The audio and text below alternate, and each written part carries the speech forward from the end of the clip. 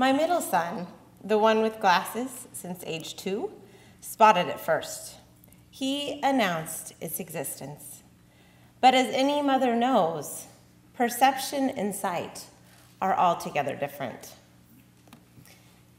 We took turns on tiptoes each day of that long summer, trying to catch a glimpse of the robin.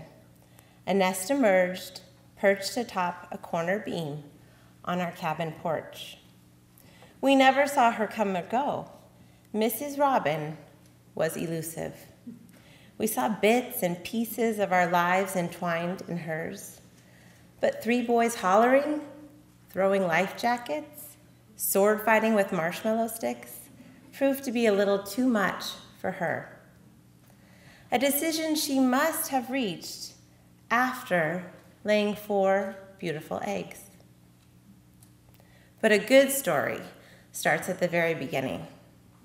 And once upon a time, I listened to my mother every blessed night.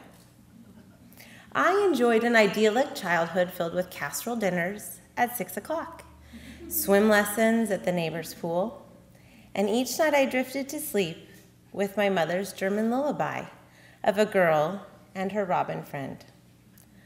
Oh, there was a little robin in a tree who sang a little song just for me. Birds are a sign. My mother always says that. She's a devout daily mass attendee. She lights candles, she starts prayer chains. She teaches at a Catholic school, and she knows her signs. She'll see the bird as the answer to a question, or think it's a loved one come down to check in on us. So this nest was not something I took lightly. The summer passed like all summers do, way too quickly. I'm sure Mama Robin eventually realized that campfires, screaming toddlers, plumes of aerosol sunscreen are not conducive to bird rearing. We never saw her, and the eggs just lay in wait.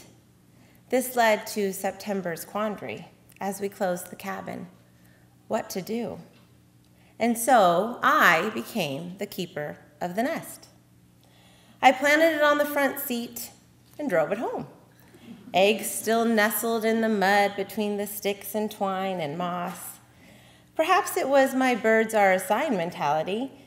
Perhaps I'm just in the business of waiting for babies. I'm a delivery nurse. Waiting on babies is what I do. Although these babies weren't going to hatch, I still felt this urge to take care of them and the promise of what might have been. And that's when it hit me my sign.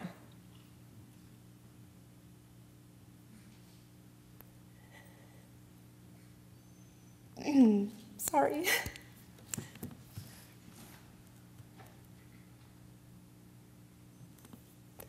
I'm that ripe old age we call in my business AMA, Advanced Maternal age. Approaching the too old to have another baby phase. Women have told me that you know when you're done having babies. I mean, I find that amazing. How could you know? Or even, how could you be done with the baby part? I know when I'm done with toddlers. God help me, I know. But babies, I can't imagine being done with. My body remembers being hyped up on oxytocin way too well. And the hypnotic blur of sleep deprivation and breast overusage creates a trance of baby want that I can't explain. I have been graced with three amazing healthy sons, truly blessed. But for me too, in my nest, there were four. A loss, 14 weeks. Sorry. Into my third pregnancy. A loss so great, I wondered if I could ever help bring life into this world again. Both at work or in my womb. We named her Rose. So sure I was. She was a girl. The unexplainable loss of a daughter that I never had. And so I realized, as I wove my minivan around the east shore of Priest Lake, that I had a sign. my nest is complete. For a woman who yearns to feel a baby move inside her again, it's weird. For someone whose work is helping bring other lives into this world, I needed a sign. A good one, apparently, an entire summer in the making. This crazy robin's nest, although not part of nature's plan, was still somehow a part of God's plan for me. And as my mom's lullaby says, and God listens to each word, so I told him of the bird, and I'm very sure he heard what I said. And in the end, I do what all mothers do moms with to do lists that rival Steinbeck novels, and 11,000 digital pictures that haven't been developed nor backed up on a hard drive. I took a picture with my fancy phone and I made it my screensaver. A picture of a tattered nest with four glowing blue eggs.